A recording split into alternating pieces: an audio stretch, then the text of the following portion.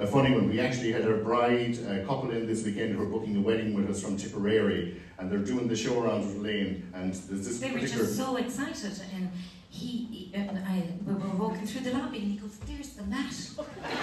and, uh,